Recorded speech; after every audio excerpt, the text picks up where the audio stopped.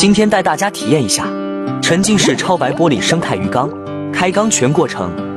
首先把超白玻璃消消毒，倒入的清水填满鱼缸，加入十毫升的高锰酸钾液，浸泡四小时以上。这样做，新买的小鱼就不会生病死亡。然后把污水抽走，用清水洗干净就可以了。